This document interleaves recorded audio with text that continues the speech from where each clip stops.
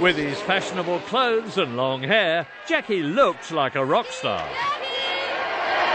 But behind the image was a total concentration on what it took to win races. Jackie could have been a clay pigeon shooting champion. As a teenager, he reached Olympic standard and he still shoots for fun. In 1964, Ken Tyrrell spotted Jackie's talent and hired him for his Formula 3 team to begin a unique relationship. I certainly would not be here today if it weren't for Ken Tyrrell. Um, he always gave me the best mechanics, the best engineering, the best equipment, um, and he cared for me better than any man could have cared for a driver. But BRM were the first to sign him for Formula One, and in his first year he won at Monza and finished third in the championship. A brilliant debut season. Then came a terrible crash at Spa, with Jackie trapped in the wreckage soaked in fuel. He recovered quickly, though, to begin his mission for greater racing safety and follow Jim Clark to the Indy 500, where he came very close to winning. Indy was something I knew nothing about.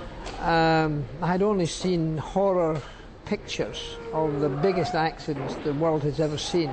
I thought I'd better go and look at it and maybe try a car to see if I could do it because it kind of specialised. Yeah. There was no question. And I just went out there and drove basically by the seat of my pants. Of course, I found the walls threatening because you were exiting at very high speed and having to commit to the exit very early on. With eight laps to go, I was two laps in the lead, um, and I had an engine blow up. It was a disappointment. One of the greatest races of all time, in my opinion, was the German Grand Prix, 1968, which you won with a splintered wrist in appalling weather. Uh, maybe my best race ever. Uh, certainly biggest challenge.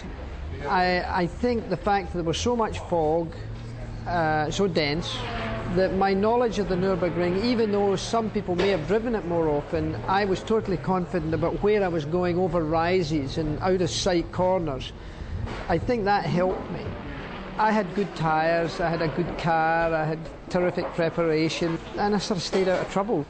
I never did a lap at the Nürburgring that I didn't have to do because I was right up to here and your, the fear of it was enormous. Your recall really is astounding. And the British Grand Prix 1969, another fantastic race, and Jochen Rindt was the man you were racing against. Yeah, it was one of the best races, I think, in, in, in motorsport um, yeah. for quite a long time. The race with Jochen was a fantastic race. Going down, uh, Hangar Straight and would overtake me going into Stowe. Now, there was no point in me trying to stop him because he was going to do it, so I would back off and let him through and then I would do the same to him from club up to, to Woodcote.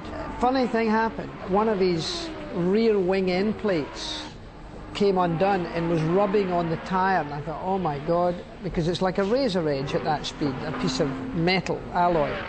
I'm going past him, going down Hangar Straight, pointing with this hand to, to Jochen, who's looking at me.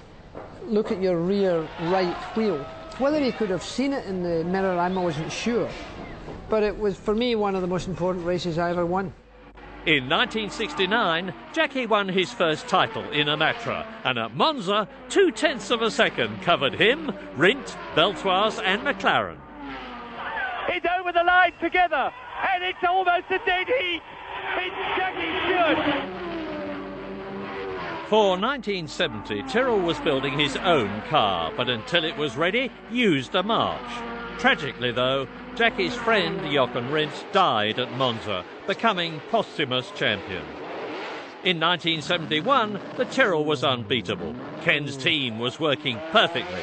Jackie took his third Monaco win and his second title. He was runner up in 1972 and champion again in 1973.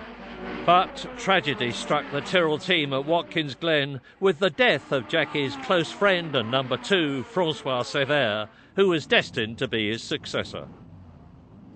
Francois died on what would have been my 100th Grand Prix. Uh, and he died the day before. And I withdrew in respect to him, and Ken, of course, withdrew the other car as well.